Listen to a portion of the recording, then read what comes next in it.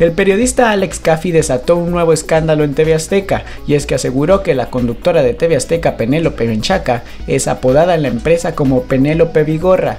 Esto debido a que, igual que la rubia, sus proyectos suelen ser un fracaso y duran muy poco al aire. El villano de los espectáculos asegura que en los pasillos de la Jusco ya comienzan las apuestas sobre cuánto tiempo durará al aire el nuevo programa La pareja ideal, pues sus últimos proyectos no han cumplido con las expectativas de la televisora.